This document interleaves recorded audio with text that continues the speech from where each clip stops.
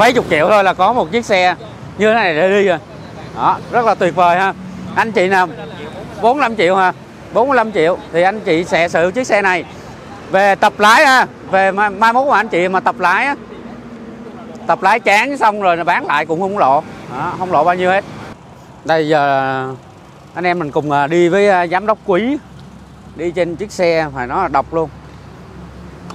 Xe này đi được không em? Đi được không? Hả?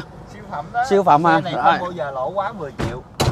Đóng mạnh lên mạnh lên mạnh lên tí nữa hả anh sợ nó bị rớt cửa luôn á.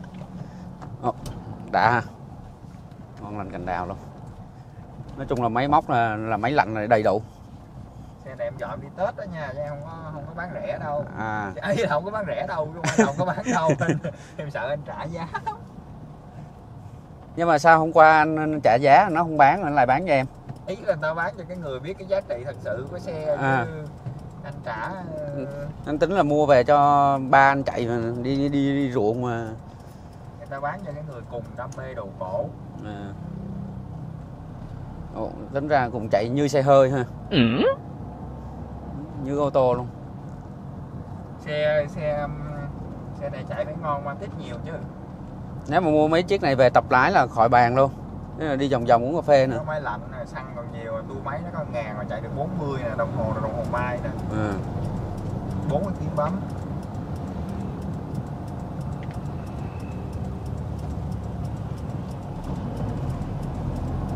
xe này chạy nhích nhẹ cái là lên 8 9 chục Ừ. rồi. Anh À, cột dây à. vô cột dây an toàn vô. Tắt gì vô đúng không? Dây an toàn nào thắt xe thì không có dây an toàn tiếc gì các bạn 80 nè Đó.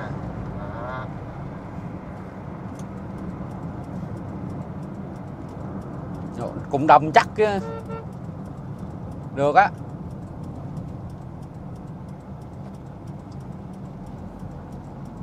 Xe này giờ bán nhiêu? Xe này à, Ừ. chưa biết bán nhiêu nữa. Anh chị nào mà thích cái xe này ha về mà chạy dạng như là tập lái hoặc là như là mua về cho ba ha ba chạy đi uống cà phê vòng vòng thì phải nói là tuyệt vời. Tại không có bao nhiêu tiền hết mấy chục thôi cỡ bốn bốn chục. Ừ, là có chiếc xe ô, ô tô nè đi rồi.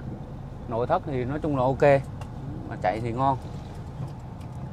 Mua cái Matic thì nói chung là chạy nó sẽ yếu ha còn mua những cái chiếc xe như thế này nó sẽ là mạnh hơn.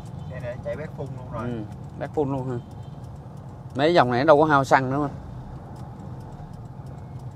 mà dòng này nó cỡ là 8 lít. 8 9 lít. Ừ. nhưng mà chạy rất là đầm. Ừ. Đó, đạp cái là nó giọt liền. Vẫn xài tốt. vẫn còn chạy được. Cái xe này lúc mà nó mới ra 30 năm về trước rồi chạy nó êm chứ. Nó phải êm như Vios rồi chứ đâu bây giờ Vios nhờ của mình á. Ừ.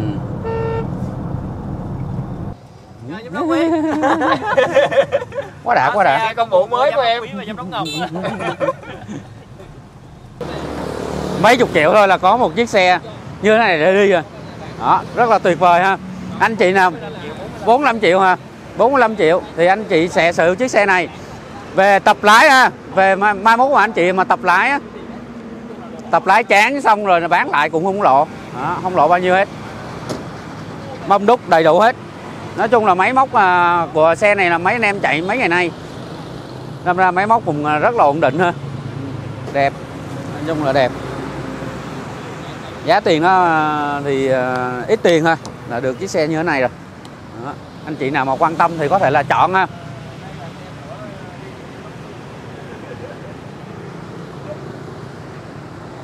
Rồi, anh chị nào mà thích chiếc này hãy nhấc máy alo liền nha, cho bên em bên em sẽ bán cho anh chị và chạy về nhà liền. Đó, máy nổ, đề nhẹ là nổ luôn.